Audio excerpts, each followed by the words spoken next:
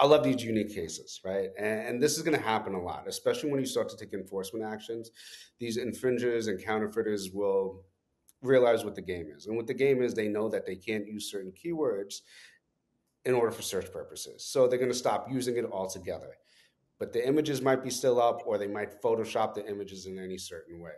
So there's two ways you can go about this. And it's it's very manual if you do this on your own, but you have to use multiple keywords and you almost have to create a funnel approach where you're using several hundred keywords to search for your product to describe it.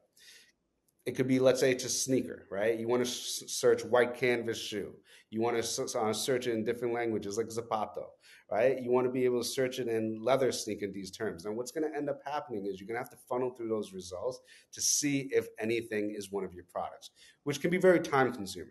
Um, you know, providers like us do have certain features that are out there. While we search with all of these non-pinpointed search key terms, we apply image recognition towards these photos to show which one is actually one of your products. And there's levels of thresholds with image recognition where you can say, bring me a 100% match or 90% match or 80% match.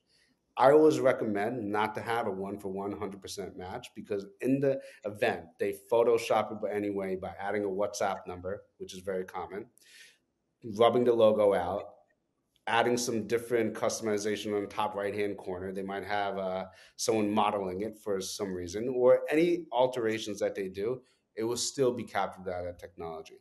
But when you start to get in these sorts of cases, there's going to be a level of detection that you're going to have to go through, which is more just on the first level of it. You're really going to have to deep, go deep down inside and use those non pinpointed key search terms for your category.